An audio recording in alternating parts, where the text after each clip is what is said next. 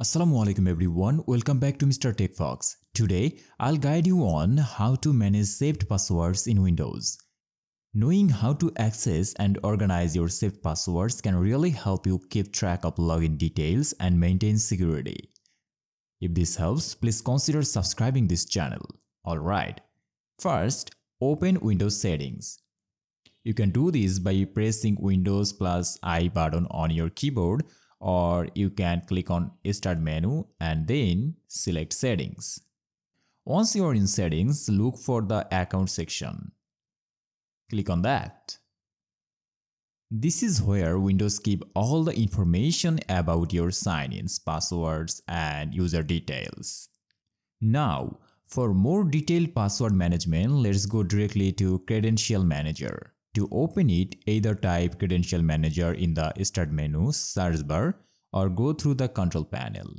So I'm gonna search it on the Start menu.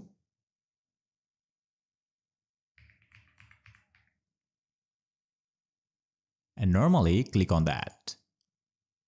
In the Credential Manager, you will see two main sections.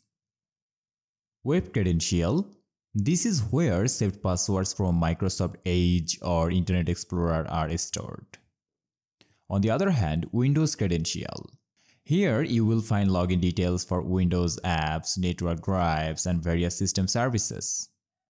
While Windows doesn't allow to directly see saved password for security reasons, you can edit or remove any kind of password.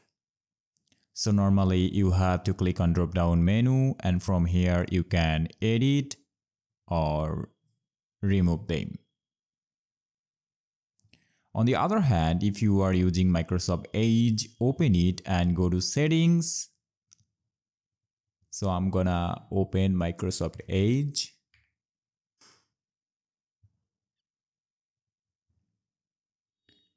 And after then going to settings, clicking on three dots and after then going to settings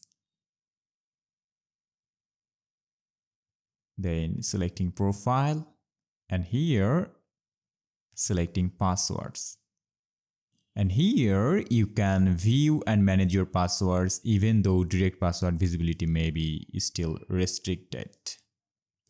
And that's how manage saved password in windows if this tutorial was helpful, please consider subscribing this channel and don't forget to hit the like button. Thanks for watching and see you in the next video. Allah Hafiz.